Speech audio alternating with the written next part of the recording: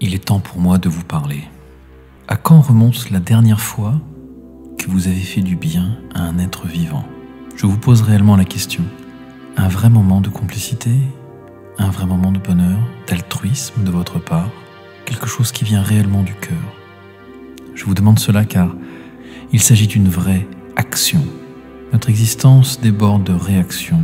Nous sommes comme stimulés par ce qui se passe à l'extérieur et nous réagissons, ce qui nous amène parfois à des réflexions intéressantes, parfois à des conclusions, parfois à des échecs, parfois à des impasses.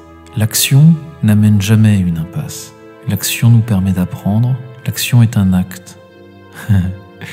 l'action exprime la foi. J'ai tellement de choses à vous délivrer que j'aimerais pouvoir tout communiquer d'un seul coup. C'est très difficile pour moi d'accepter la linéarité du temps. Je suis à nouveau comme un enfant j'ai cette chance d'avoir une révélation et des messages à délivrer. Ces messages que j'ai longtemps oubliés, qui étaient enfouis. Le message que je vous délivre pourra vous sembler d'une évidence relative, et j'en suis désolé. Les vérités qui me viennent sont comme un puzzle, et pour l'instant, elles viennent de manière morcelée. À la manière des messages des anciens, qui parlaient en énigmes, je vous propose de donner une chance à ce message, d'écouter ces vidéos plusieurs fois, et de reconstituer le puzzle progressivement dans votre conscient ou dans votre inconscient. Vous avez fait du bien à un être vivant, que ce soit une personne, que ce soit un animal, même un végétal ou un minéral. Tout dépend le degré d'ambition que vous avez. Généralement, tout ce qui répond de la nature est quand même beaucoup plus satisfaisant car la nature est touchée par la grâce en permanence.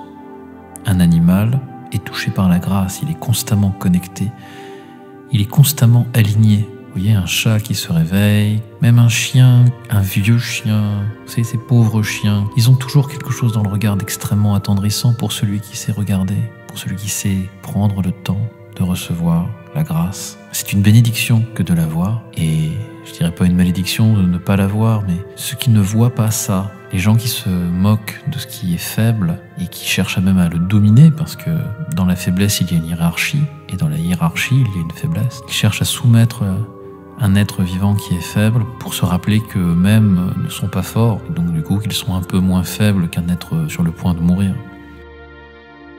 Nous, en tant qu'humains, on est réellement entre ces deux mondes. On a cette appartenance physique au monde animal, naturel, et on a une spiritualité qui permet d'avoir conscience que nous existons et surtout de mesurer le temps. L'être humain est entre les deux mondes et ce qu'il se passe en ce moment, c'est qu'il y a une réelle incarnation massive d'êtres spirituels sur Terre. Beaucoup d'enfants naissent avec une spiritualité spontanée presque. Et ces âmes euh, qu'on pourrait qualifier d'âmes extraterrestres viennent sur Terre avec de l'amour, avec de la bonté, avec une volonté d'aider, de guérir, de sauver. Il y a réellement, étrangement, une série de prises de conscience avec des êtres extrêmement rapides qui prennent naissance depuis les années 70, moi je pense que c'est même avant, et qui naissent spirituels.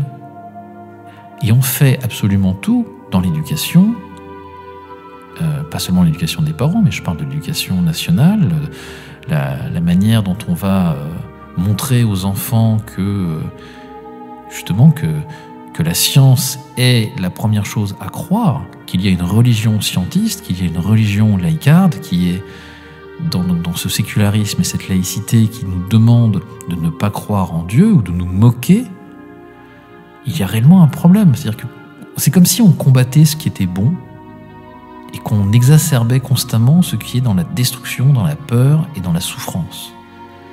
Pourquoi croyez-vous que justement on fasse autant de vaccins, autant de traitements terribles aux enfants, qu'on les nourrisse mal avec des OGM qu'on ne les protège pas des particules fines, il y a réellement un problème autour de l'enfance dans notre société. C'est un petit peu comme euh, en Égypte, vous voyez, que lorsque le pharaon avait eu de son oracle euh, le message qu'un enfant allait naître et le renverser et qu'il tuait tous les bébés. Là, à notre époque, on ne peut pas avoir un dirigeant mondial qui dise on va tuer tous les bébés. Ce serait euh, vraiment compliqué. Mais il y a des peuples dans lesquels il y a des génocides encore de nos jours. On n'en parle pas. C'est une honte. C'est une honte. On devrait défendre toute forme de vie, tout simplement. Il n'y a aucun sens à laisser massacrer des personnes euh, et d'abreuver de nouvelles dans, dans les médias des choses qui sont totalement superficielles et qui sont moins importantes que la vie elle-même, préserver la survie d'êtres humains. Quand on voit la manière dont les enfants sont traités, euh, il y a une volonté d'éteindre cette flamme, mais comme dans chaque chose qui est réellement spirituelle, plus on tente d'éteindre les messages de spiritualité et plus on va en avoir. Et ce qui se produit en ce moment, avec des lois qui ne fonctionnent pas, ou qui amène le chaos, et je pense, ça c'est mon avis personnel, mais je pense que ce chaos est voulu, qu'il y a une volonté d'amener de la frustration, amener les gens à vivre des injustices, à laisser courir euh, les criminels. Mais malgré tout, il y a un sursaut. Toute la médiocrité dans laquelle on nage en ce moment est une bénédiction. Cette médiocrité éveille les gens beaucoup de personnes s'aperçoivent qu'il y a un réel problème et qu'il est temps de s'éveiller.